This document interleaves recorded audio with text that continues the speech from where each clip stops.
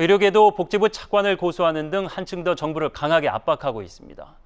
경찰 수사는 지체되는 분위기지만 좀처럼 의정 갈등의 실타래는 풀리지 않고 있습니다. 백소민 기자입니다. 검은 마스크와 검은 옷을 입고 단상에 선 전공의들. 사흘 만에 뜻을 모은 사직 전공이 1,360명이 박민수 보건복지부 2차관을 직권남용 및 권리행사방해 혐의로 집단 고소하기 위해 나섰습니다. 업무 개시 명령을 내려 헌법에 보장된 정당한 권리 행사를 방해했다는 겁니다. 직업 선택의 자유, 그리고 강제 노역을 하지 않을 권리 등 헌법과 법률에 따라 보장된 정당한 권리 행사를 방해한 것입니다. 박 차관의 경질이 없으면 의료 현장에 돌아오지 않겠다고도 선언했습니다. 저는 박민수 차관이 경질되기 전까지는 절대 병원에 돌아가는 일은 없을 것입니다.